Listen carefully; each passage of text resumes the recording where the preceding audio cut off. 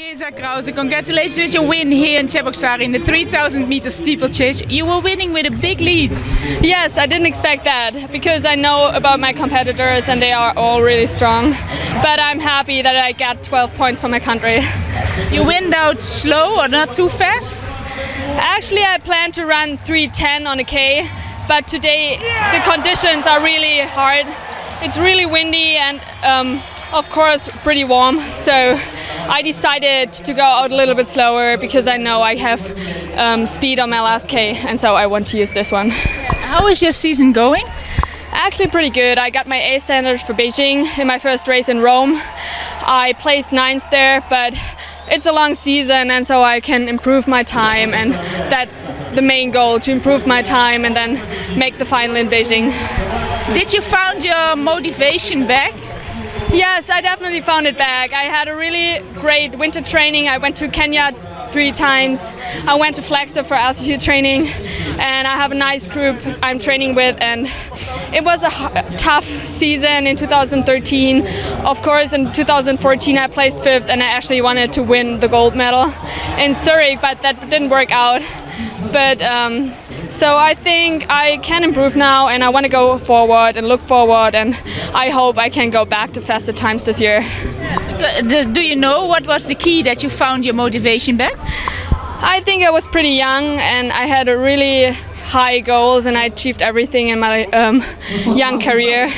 And I think it's really hard sometimes to get motivated and I have to figure out the right training for me. And that took some time and I was angry with myself but I think some things just need their time and training not always improve. Um, if you're getting better in training you also need the strength back in competition. And now you also said you have been training in Kenya. How was that? Actually it was my seventh time this year. I started in 2010 but for this season I'd been there three times for a month.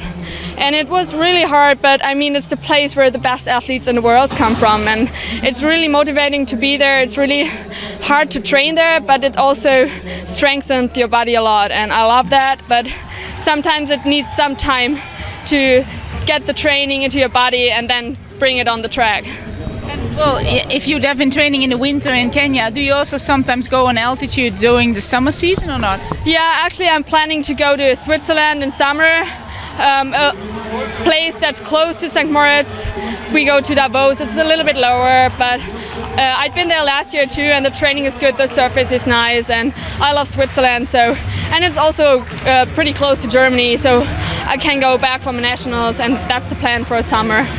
What will be your next uh, important race uh, towards Beijing?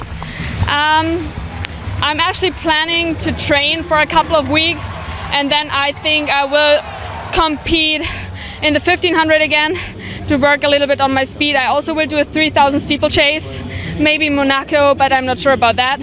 And then um, I have nationals in Germany, so I'm fighting for the German title, but we all know there's other German who's pretty strong, so it uh, will be a tough competition for me nationally because Antje Möldner Schmidt won the European medal last year at the goal, and um, after that I will train again for Beijing and there won't be any competitions.